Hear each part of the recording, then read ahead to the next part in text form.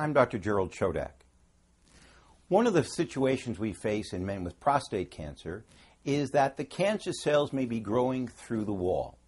And another option for treating that situation, which we call stage T3, is radical prostatectomy. Now, ideally, radical prostatectomy is done for men whose cancer is localized, but it's also a reasonable option when the cancer seems to be growing through the wall. It still may be possible to remove all the prostate cancer cells. There is a greater chance, however, that cancer may be left behind. And so that's one of the downsides of undergoing radical prostatectomy. But a great number of men will still have a long long term survival following surgery. And so the advantages of surgery is that you get it out, you get to look under the microscope, maybe you will remove all of it. It's not clear if that's true.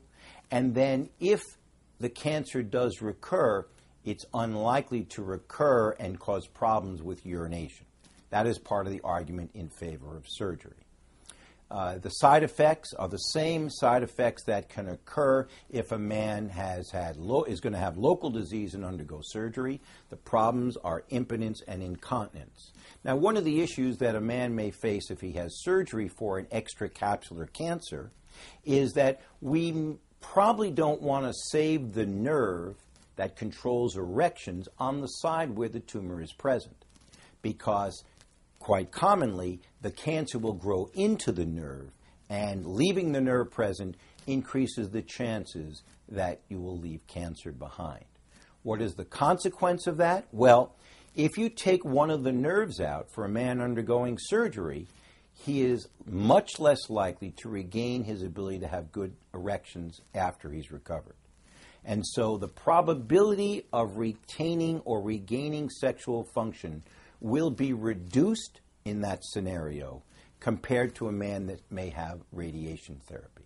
And that's something to keep in mind when you're weighing the pros and cons about which option is appropriate.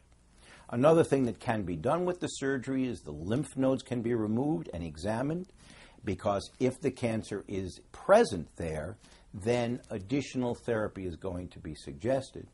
And there's another controversy, and that is if cancer is in the lymph nodes, should you have the prostate removed?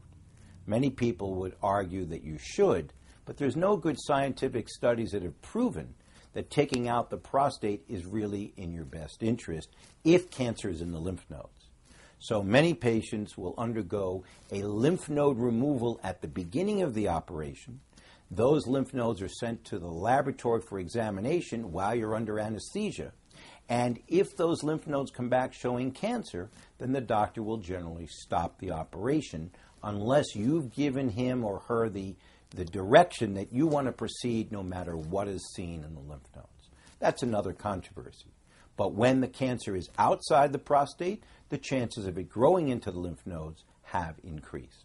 So, surgery is a good option for a man with a tumor outside the prostate. There is no data to say is it the best option.